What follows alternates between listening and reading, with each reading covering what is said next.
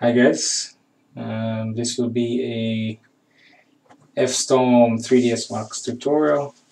Sorry I do not have a headphone type microphone. Uh, mine is basically on my desk so you might um, hear me sounding a bit far I would say. But here's the scene. It's basically a commercial project. It's just a living room with a large window, some modern interior basically. Gray sofa, this metal glass center table with some carpet. Um, the aim of this project will be just to create the room. The sofa will just be replaced later on by the client. I think this sofa is actually some sofa that they're actually selling so they'll replace it later on um, inside uh, the image I give them. So basically I'll send a blank image and they'll attempt to they're gonna be photo um, photographing this in some studio I think and then placing it inside the image. Um, but basically I, I just need to set up the scene now so you guys can see. Alright so let's go ahead. So we're in Max uh, you'll be gonna see a lot of um, toolbars here. Basically I use a lot of these toolbars when I work. Some more than others. Um, for example I have debris maker for making debris field of view. This gives me a quick access to changing this changes my field of view basically to 70 quickly. Uh, in Max it's I think it's 45 is default but I use this a lot this is convert editor poly. This is very useful. All the group open, group close, group attached icons are here. The properties toolbar for basically an object. I'm sorry, you might hear my little son in the background. Uh, I also have an accent, so it might be hard for some of you guys to maybe understand a lot of what I'm saying, but hopefully you do. Alright, so basically I have a lot of these icons here so they make my workflow a lot faster. Some people are always wondering why I work so fast. Well, it's because of these toolbars, a lot of these uh, make life easy. For example, this primitive, this teapot. Come here, edit poly, sorry edit poly. Properties, I can see the properties of this really fast. And you have some live measure stuff here from, I think this is from Moai screen grab rename this is pretty useful. Uh, basically I just come in here custom user interface find the one that I need my tools field of view 70 new add it to a toolbar and you know how that goes. Alright so let's get started. So this is the image here. So what I normally do for this it's this type of sofa will find one maybe on 3D Sky or in my library. I'll add one basically in Max and we'll see based on this to judge the size of the room. Right now I have no sizes so this is gonna help me to judge the sizes more accurately. So let's go.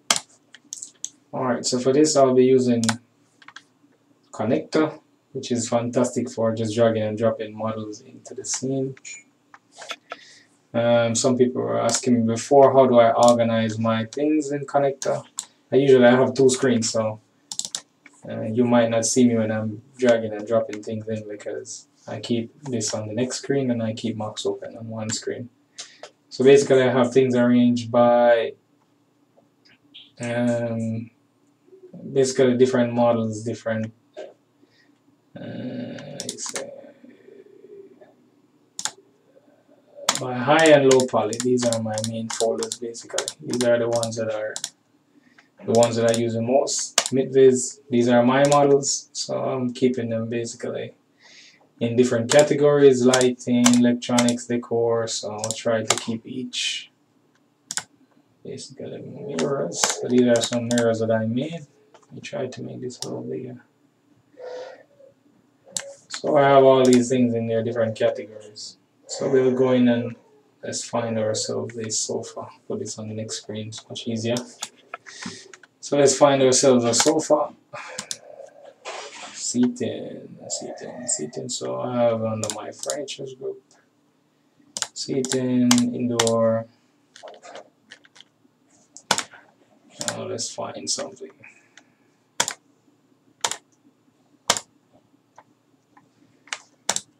Alright, whatever, let's grab this one.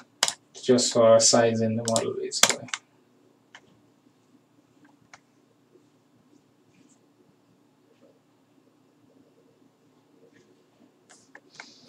I also should mention this is not some pro tutorial that's gonna be on sale, so I really don't care about um, how how I sound, if anything sounds like I wrote it down scripted or anything. I just just working basically, showing you guys how I work.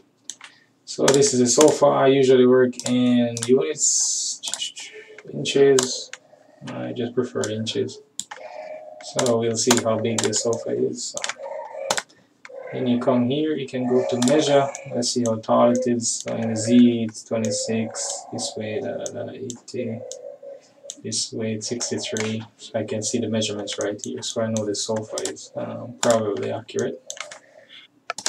So let's go in and based on this scene, I see I need this wall, I need this wall. I'm to do the whole room basically, which makes life easier. So, sofa is mirror it this way. Yeah. Let's drop in some walls. So let's go into the top view.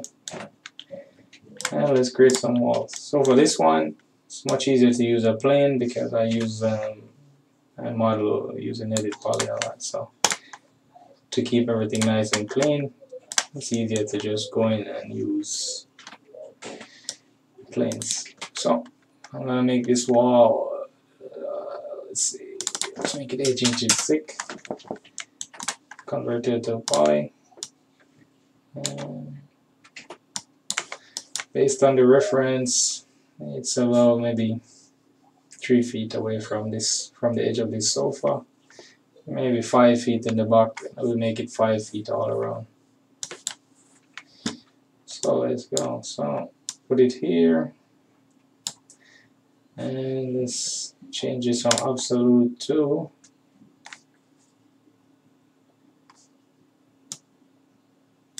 so let's make this minus 36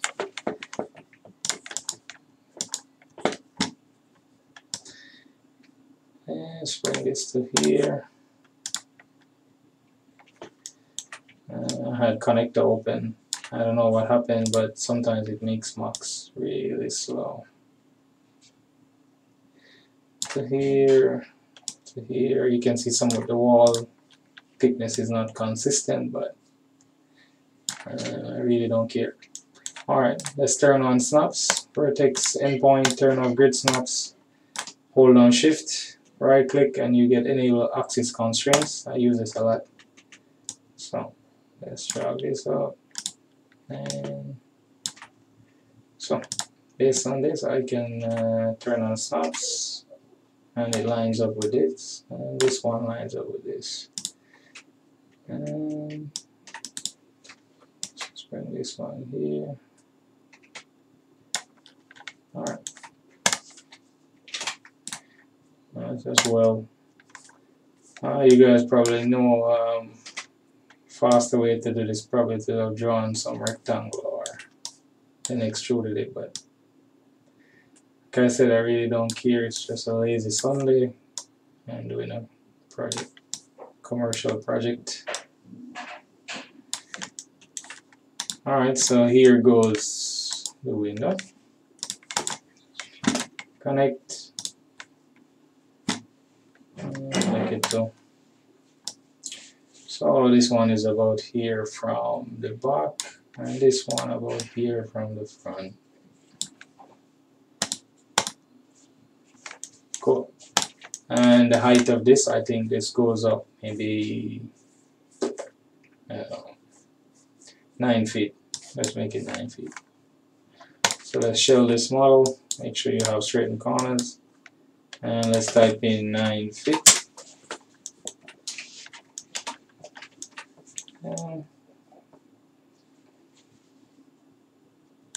let's see how it looks from here. So you see now where this field of view 70 comes in handy. Click it and it changes the field of view. So yeah based on this I think I'm just judging it here. Based on this angle when I zoom in if I try to pick some similar angle that uh, I'll use for the shot. 9 feet, so it may be too tall. So let's go in and let's put 8 feet. This more looks like what it should be. Poly, and uh, let's make it hard. So I just came to the properties here. I have this graphite. Oh, really? Toggle ribbon was the graphite toolbar. So I usually use these ones a lot, especially the uh, geometry and the properties. They're really fast and they get you where you need to go. So for this one, let's add slice. I just need to create this um, part where the window actually sits. So across here and the opening for the window. So since it was on the ground, let's make it 80. Let's see if it comes up to that. Yeah, let's make it 80. Um, add an edit poly modifier. And let's delete that.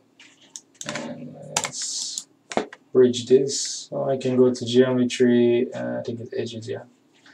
Edges and just, I need to put this on the toolbar also. Edges, bridge, bridge, bridge. So you quickly have this seal up. Alright, so let's add a, this is going to be a concrete floor, so it doesn't need anything specific. I'll convert to poly. This is gonna be my roof. Let's show this one. Let's make this four. Alright, let's bring in this one also for the floor. This is not a particularly complex scene, so things look a little bit easy. Alright, let's go to F-Storm. Uh, let me see if my render is set to Storm. Yeah, so I'm using 1.1 Z. I think it is. Uh, Alright, so F-Storm. Uh, so I have the F-Storm material here. Let's call this roof.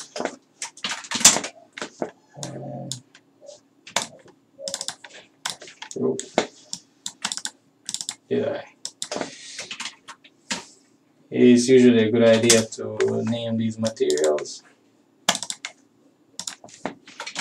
especially when you come here to create material libraries to be used in different files and as you can see here I have a material library I made for a specific job I did yesterday so because it was few scenes and each scene needed these materials same materials so instead of copying the model over I just made a material library and then you can get all the scene, scene material that comes here. I don't need it anymore so I'll close it. Basically it's more, very important to give these names sensible names. So walls, add walls, and let's add floor. Alright, I'm gonna check if this recording is actually going properly so Give me a second, let me just check it.